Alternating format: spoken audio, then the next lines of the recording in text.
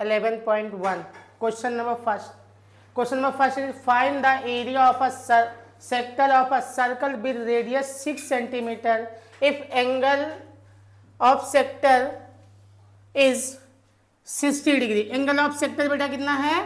Sixty degree angle of sector is sixty degree ये जो angle बन रखा है कितना है? सिक्सटी डिग्री है. राइट right है? और सर्कल का रेडियस बेटा कितना है? सिक्स सेंटीमीटर कितना है ये? 6 सेंटीमीटर तो हमारे पास जो गिवन है उसको लिखेंगे। गिवन में क्या है बेटा?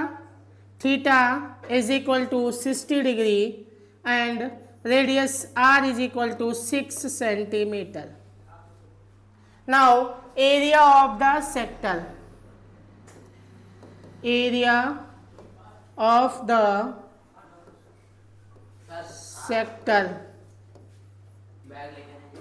is equal to theta by 360 pi r square area of the sector Hindi में बेटा क्या बोलेंगे?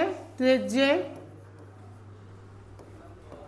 खंड का क्षेत्रफल. Area of the sector is equal to theta by three sixty pi r square right है? थीटा की वैल्यू रखोगे, कितना रखेंगे हम लोग? सिक्सटी डिग्री है upon three sixty into pi twenty two by seven और आर आर कितना है? Six into six right six का स्क्वायर मतलब सिक्स इंटू सिक्स ये कटेगा? ज़ीरो से ज़ीरो सिक्स सिक्स जा.